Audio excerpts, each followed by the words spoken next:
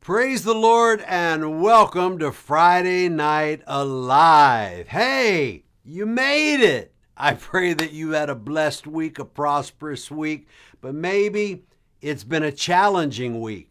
And if that's the case, you not only succeeded in surviving and overcoming the challenge, but I believe that even in the midst of the challenge, God has done something whether you realize it or not. You know, that's the incredible thing. We got to realize that God works even when we're sleeping. And when I say works, I don't mean God gets off the throne, puts on a tool belt, and goes to work. I mean that He works in our heart and in our life. Maybe it's a passage of Scripture that you've been reading and you've been meditating on. Well, those are seeds that you're planting within the soil of your soul. And as you sleep, guess what happens? Those seeds begin to grow and be nurtured and, and develop into what God wants to do in your life. So God is working even when you don't realize it. I'm just so glad that you're with me tonight, whether you're on the live stream or the rebroadcast. Hey, sit back for the next few moments and open your heart and invite the Holy Spirit to speak to you, to teach you, to lead you, to guide you, to show you something that you haven't seen before. Hey, before we get into the word, why don't we say a word of prayer tonight? Father, in the mighty name of Jesus, help us to realize that, Lord, that every time we invoke that name, declare that name, all of hell stands at attention. Why? Because the scripture declares that at the name of Jesus, every knee shall bow, every tongue confess that Jesus is Lord. So it's in that name that I pray for that one that may be hurting, struggling, maybe physically, mentally, spiritually, financially, and you're just not in a place of peace. I pray that tonight you would minister to them, touch them, and open their heart in such a way that they would say, I could have never done it. It had to be God in my life and give you the glory. In the mighty name of Jesus, we pray your blessings upon the program. Amen. Well, we're going to continue what we've been talking about, and I got my little furry grand dog here that I'm babysitting for a couple of days. So uh, we're going to go with the flow with him. So far, so good. And uh, if it's not broke, don't fix it. Come on, somebody. I love some of those sayings. I'd love to get a hold of a book that just has all those sayings and how they came about and who the author was of those stories. But we're going to continue what we've been talking about. That just because you have an Ishmael does not mean that God has forgot your Isaac. Sometimes we feel because of our own failure, our own sin, our own missing the mark, we feel that that has disqualified us. Have you ever been there? Have you ever dragged some baggage with you along your life that you feel like because of that failure, that mistake, it has literally marked me for life? I'm not qualified. Well, let me tell you, the good news is you're not qualified. You're exactly right. But the even better news than the good news is that Jesus knew that and that was the purpose in which he came and he lived and he hung on that cross, bled on that cross, was beaten prior to the cross to the point of death.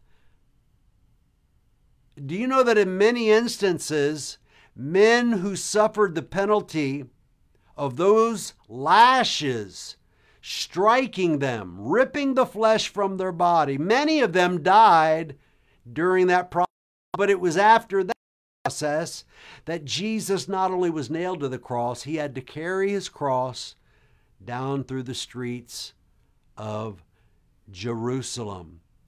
The Via Dolorosa, way of suffering and pain. Why would someone do that for us?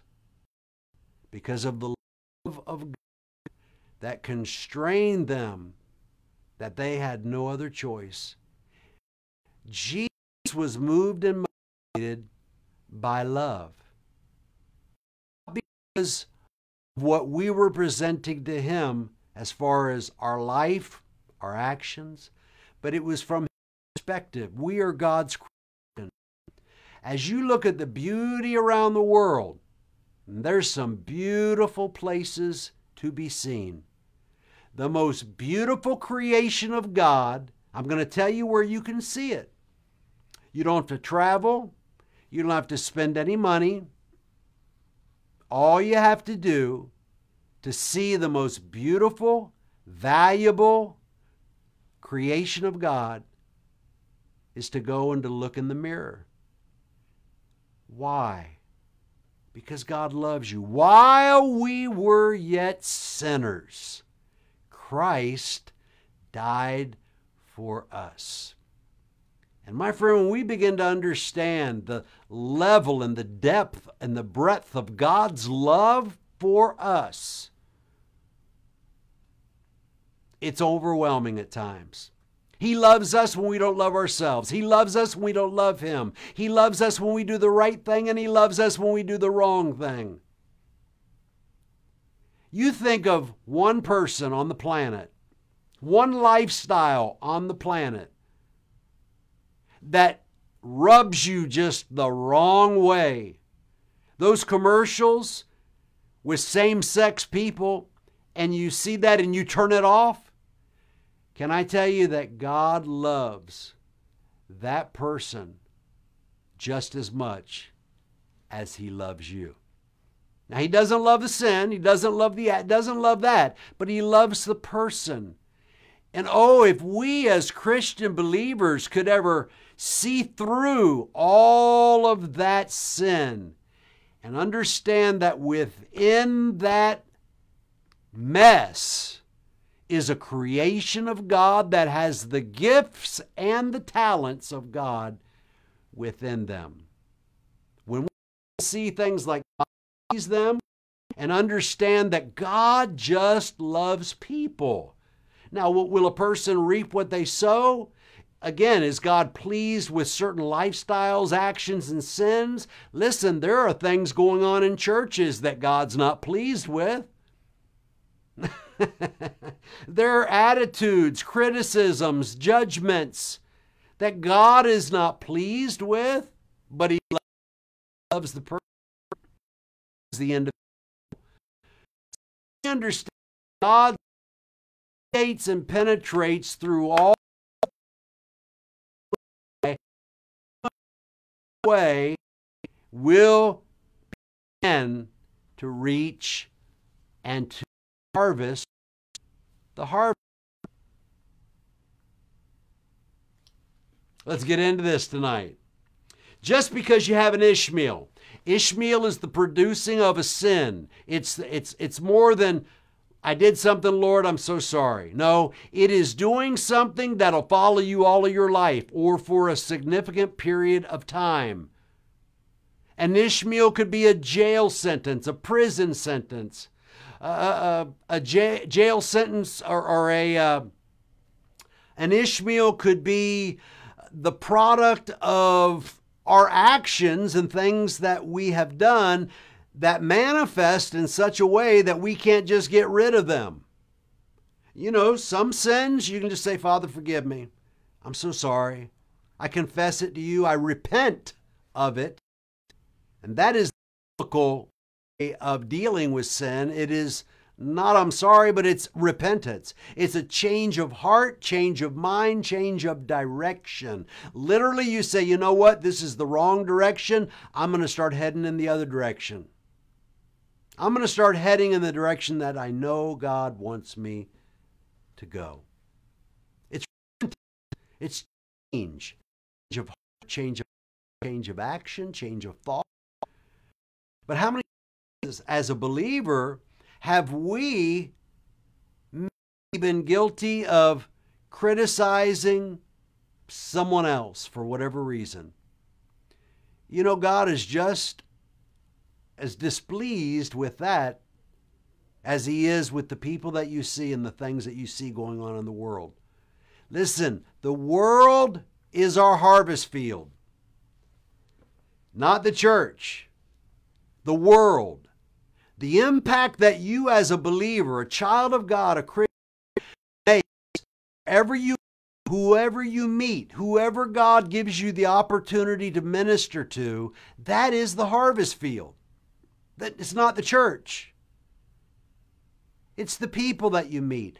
That, going back to what I, I have said before, when you get, you should say, God, use me.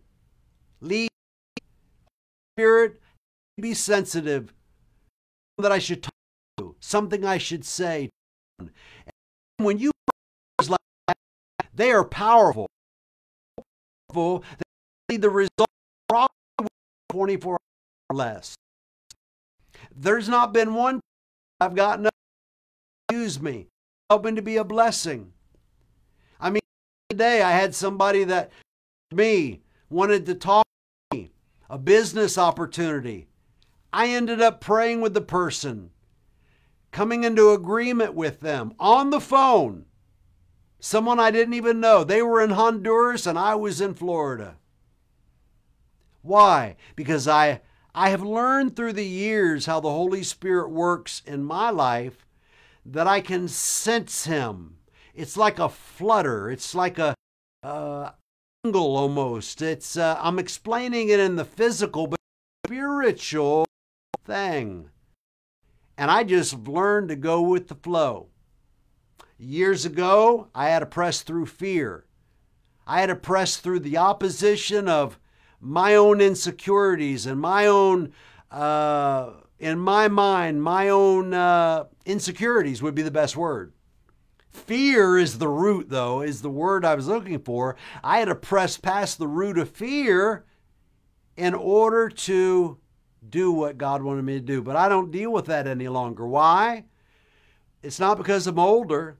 It's because of experience. And you don't get experience unless you do something. And the word in James says, faith without works is dead.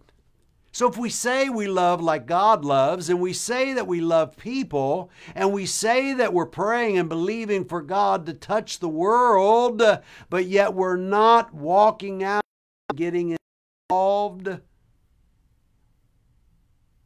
faith without works is dead. So it requires us getting up and doing something. It requires repentance, action.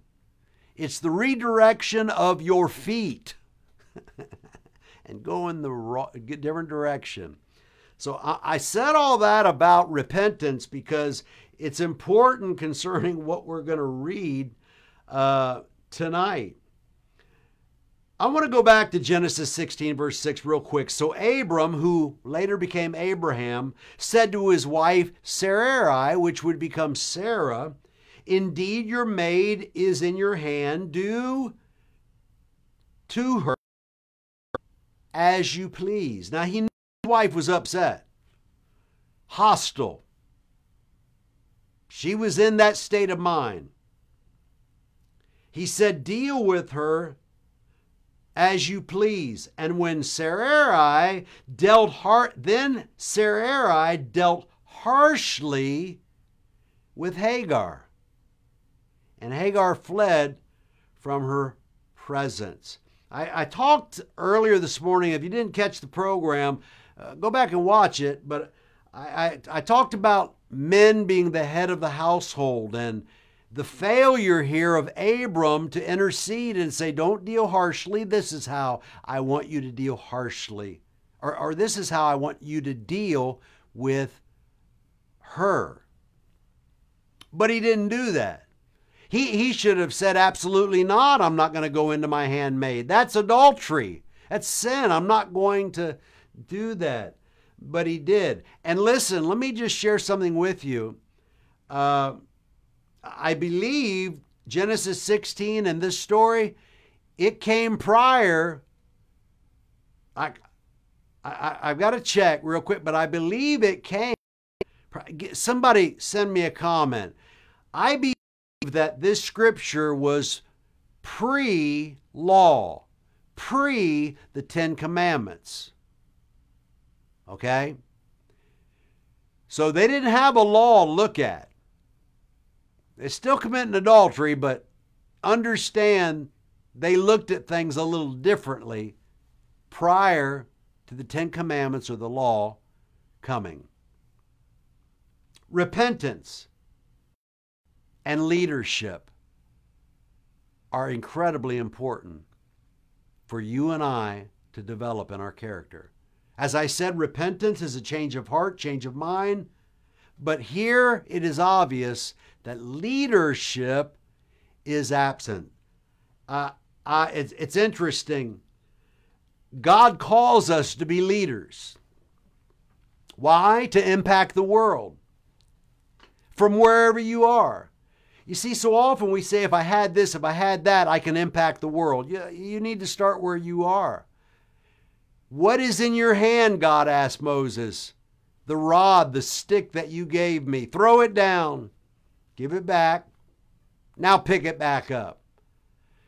God used Moses to defeat the armies of, of Pharaoh, to drown them in the Red Sea, to lift his hand to part the waters. It was a stick but God wanted him to use what is in his hand. I ask you tonight, what's in your hand? You got a phone in your hand? You could send somebody a lovely greeting tonight, encouraging them. Let them know you're praying for them. You could do better and even call them. Maybe somebody you haven't talked with in a while. Maybe you have a relationship with a family member or a loved one that it's been fractured and you're sitting there waiting for the other person to make the call, make the text. The holidays are coming and there's such stress. What should I do? Well, you can be a follower or you can be a leader. And a follower will just sit and wait for something to happen. But a leader makes things happen. I hope you're following me tonight. In this instance, Abram was a follower. He wasn't a leader. Now, the funny thing about you and I, and I stated earlier that God's called us to be leaders, to develop you as a leader.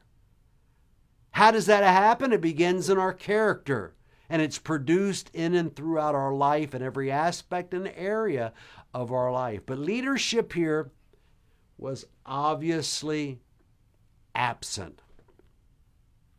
God's called you to be a leader.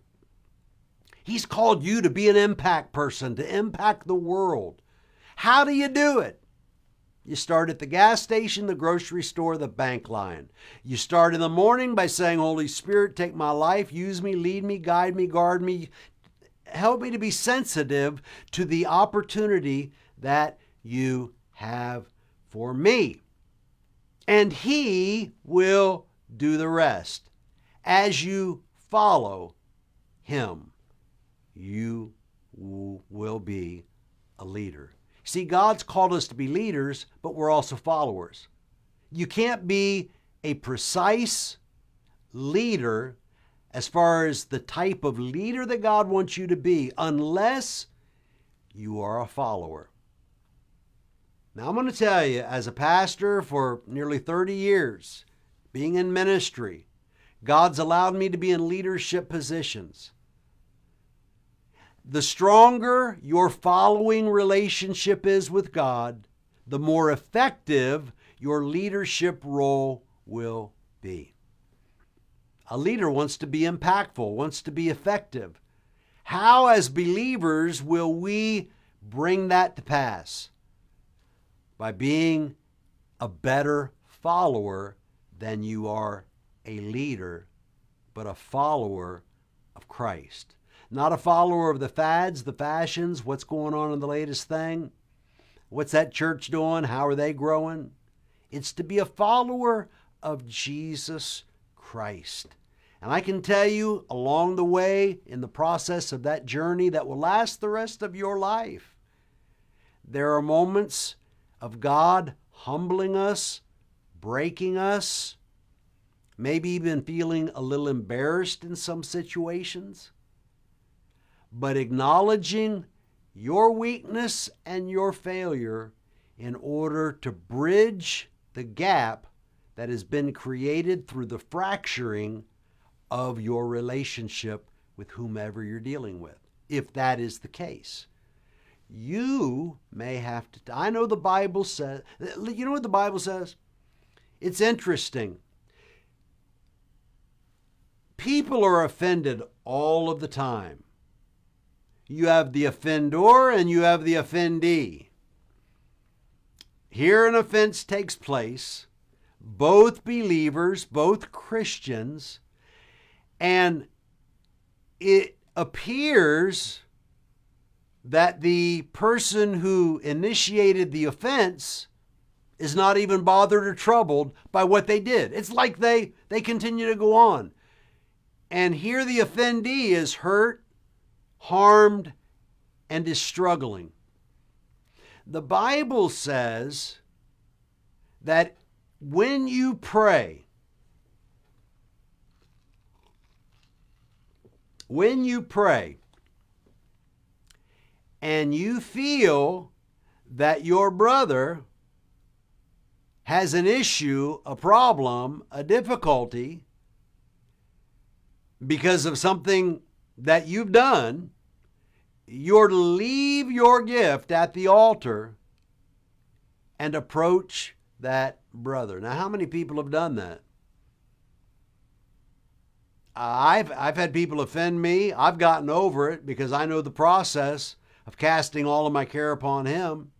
I know the process of looking at a situation and allowing the Holy Spirit to show me something of value and worth that I actually have forgotten the offense and remember the treasure that I got from that offense. Oh, my friend, men spend their life digging for treasure, for gold, for precious, costly gems that are hidden either beneath the surface of the ocean or in the depths of a mountainous range. They spend their entire life trying to uncover that is hidden. Can I tell you something? In the midst of a tragedy, in the and hiding of something that has taken place, there is a treasure in every one of them. And the question is not, God, are you going to give it to me? It's whether or not you will go after what belongs to you. Ah, ooh, the Holy Spirit is taking a little different turn right here. Yeah.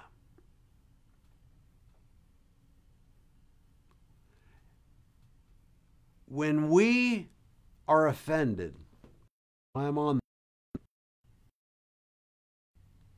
We're offended, and we look at that offense, and it seems and appears nothing going to. We make the choice, allow the Holy Spirit by asking Him to reveal the treasure hidden offense, this problem, this weakness, this struggle, this difficulty, this pain.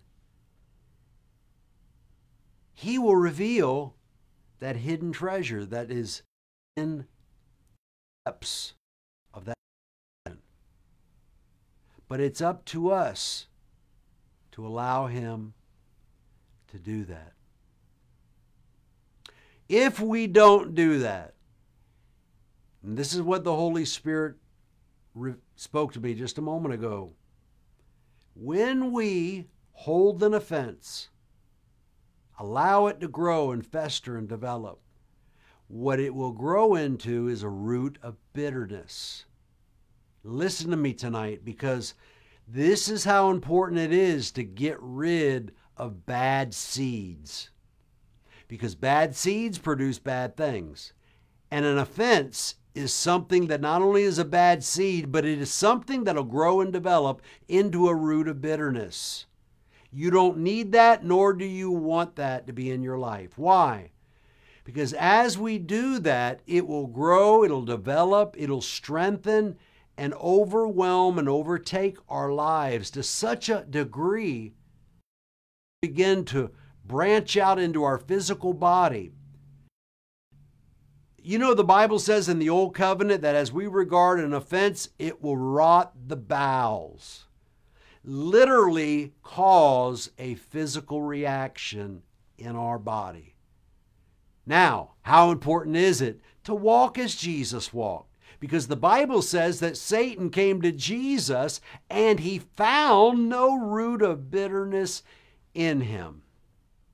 Think of that. Jesus was able to relieve himself and release and get rid of all of those offenses, those attacks, those moments that Satan would come against him. And here Satan comes and he doesn't find of bitterness within him. Now, can I tell you? Let me a question. What do you think Satan was looking for when he came to Jesus? He was looking for bitterness. He wanted to see if what he had tried to do in the three and a half years Jesus in ministry, he tried to see if attacks old and rooted and grew into a root of bitterness. He was unsuccessful. Can I tell you something? God wants you and I to live that same way, to be offense free, to say, you know, I did on the Father, they know not what they do. Please forgive. I'm going to pray for them. What is the solution for an offense? To give it to God, cast all your care upon Him, and to, and to release them, forgive them. What it does, they're, an offense tethers you to the person. You choose whether you cut the offense and let them go on their way, and you remove that and cast it upon the Lord and go about your merry way. You and I choose to do that.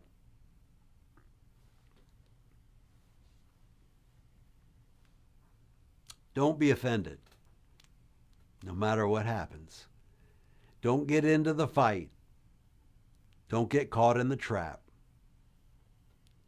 Because sometimes the trap wins. I want to talk about mercy tonight. We're going to end the program with this. In Genesis chapter 16, continuing on with verse 7 through 10, the scripture says, Now the angel of the Lord found her by a spring of water in the wilderness, talking about Hagar with this little child, Ishmael.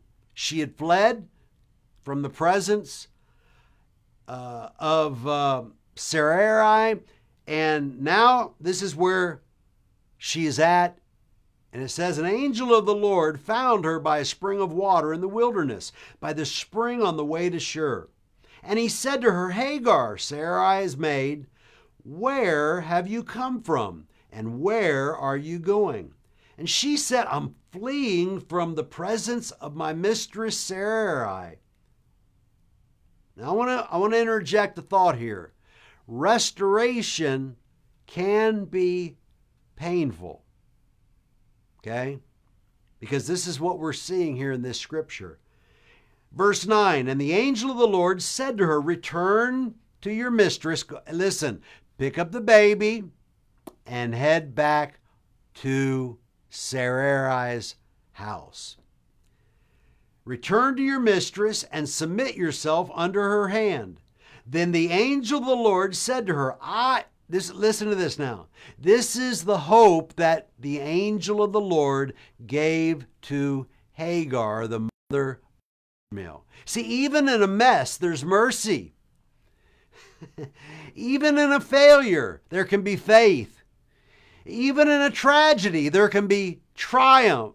Even for you, no matter how big the mess, no matter how broad, no, matter how deep, no matter how far and how long you've, you've run from God, can I tell you, He's gone with you. Yeah, you don't have to run back to catch him. You can catch him right where you are tonight. And I'm going to give you an opportunity in a moment to get on that bus. Come on, somebody. Uh, so much, don't you leave you in the wilderness. He loved Hagar and Ishmael enough. Why? Because they were a creation of Him. They had His fingerprints within them. The gift and the talent of God was knit together in while they were still in their mother's womb.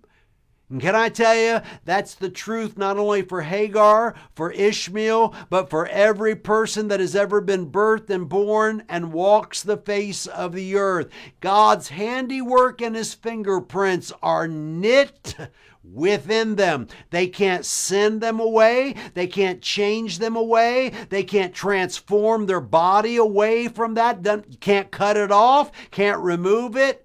God's handiwork and handprints are within the life of every person.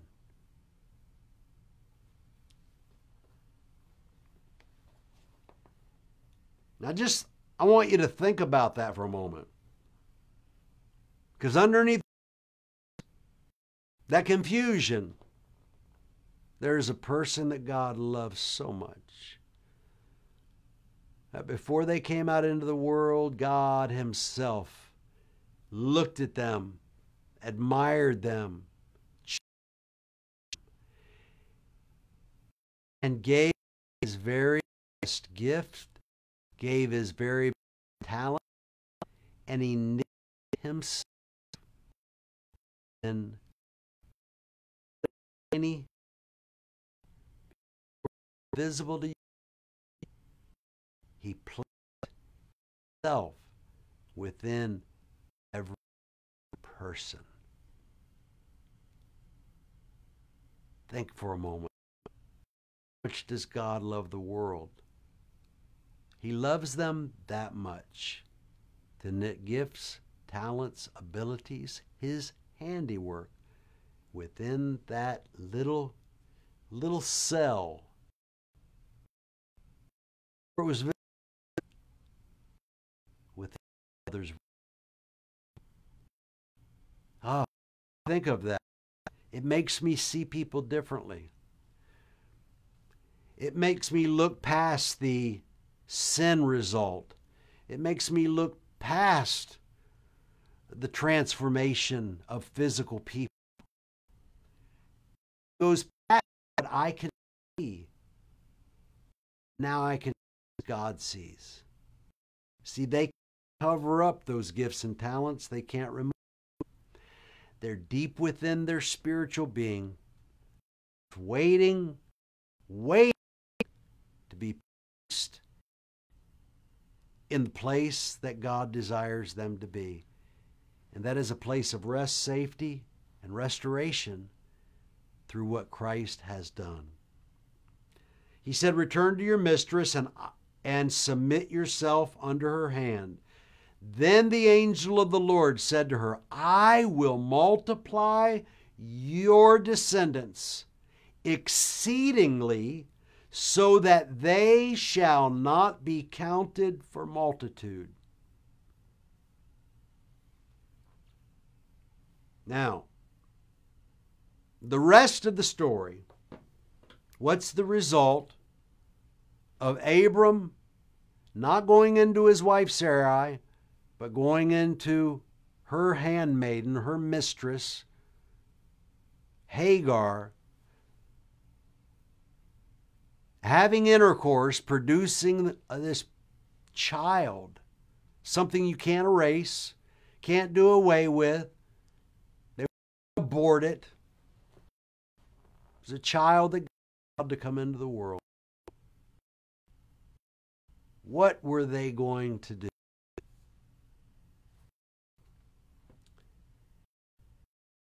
Often, often, we always reap what we sow, grace and mercy.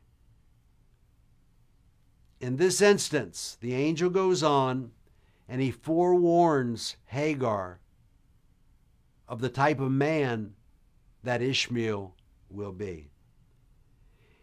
He should be a wild man. His hand shall be against every against him, and he shall dwell in the presence of all of it. Now, for a moment. This Ishmael, he's going to be beautiful while he's a little baby, so enjoy him. But when he gets older, he is going to be a person that inflicts pain on many people.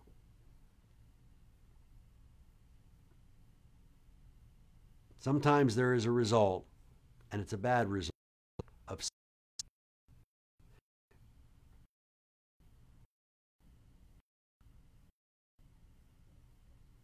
I'm going to wait. I'm going to up here because I want to pray with you.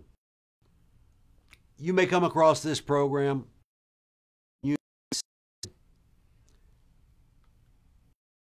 told me the law for this experience or not.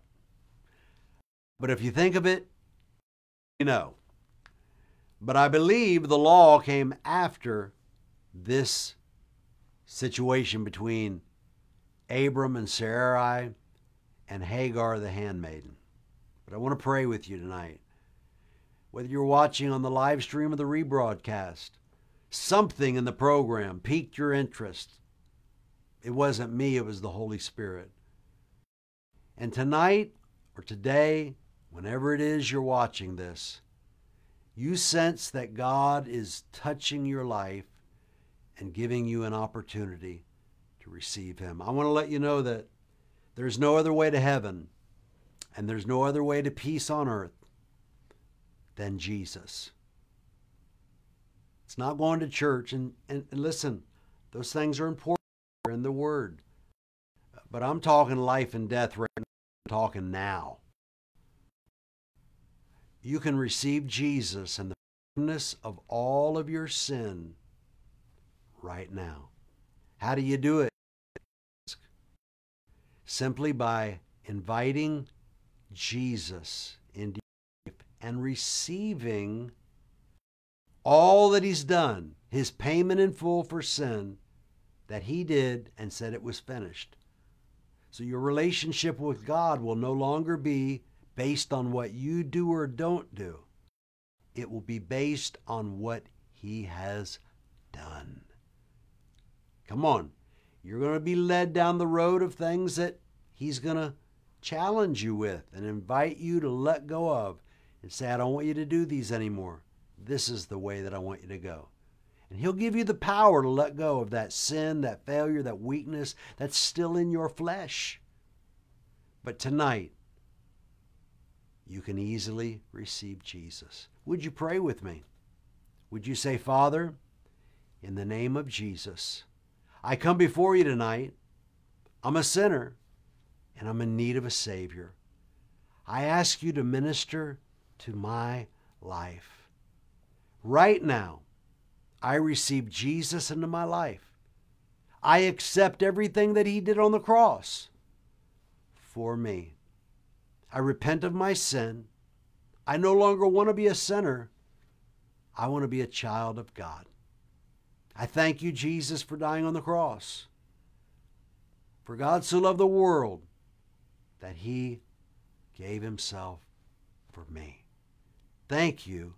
I receive it. In Jesus' name, I pray. Amen. Do you know if you prayed that prayer in faith, you are no longer, you're not a better version of who you used to be. The scripture says, that you are a brand new creation in Christ, that old things are passed away, and behold, all things are new. And welcome to the family of God. Well, look who woke up. Mr. Carter. Are you here to say just, oh, you just want to say good night to everybody? Huh? How you been? Are you having a good time? Yeah, are you you having a good time? Oh, he's my little buddy. My son's going to be going out of town, first out of town trip with the baby. So keeping him for a little bit and he is a blessing. Hey, I want to let you know that we have a YouTube channel if you haven't been there. It's at Faith is the Victory Fellowship YouTube. All of our programs are there, and I pray they'll be a blessing to you. You can check out our social media platform, Instagram, and I think we're on Instagram and on uh, Facebook for sure. Uh, I want to tell you, I enjoyed my time tonight. A blessing with you, and I just encourage you look up, lift up your eyes, because your redemption draws nigh. Hebrews chapter 11 or 12, verse 1, I believe. I, I sometimes I get those confused. 11, 12. But I believe it's chapter 12, verse 1. Looking unto Jesus, the author and the finisher of our faith. Maybe verse 2. Hey, check it out. Send it. Let me know. But I know one thing. He is faithful to his to watch over his word to perform it, and he is God. I keep my eyes on him. Don't you, Carter? Yeah, when we first got Carter, he was a puppy. You're going to think I'm crazy. Uh, I led him in the sinner's prayer. Yeah, so I believe my doggy's going to be, it's not mine, but my grand doggy's going to be there in heaven. Now, that might turn you off, but you know what? Whether I'm right or wrong, it doesn't matter. I choose to believe. Amen? Come on. I choose to believe. I pray you have a blessed weekend, a restful rest of your evening. And until Monday, right back here at 12 Standard Time, we will be live on Faith is Facebook. Hey, we got some exciting news that I'm going to share with you this next week. And I got to tell you, God is faithful. Until Monday, I love you. God loves you. And as always, my friend, never ever forget, He is faithful.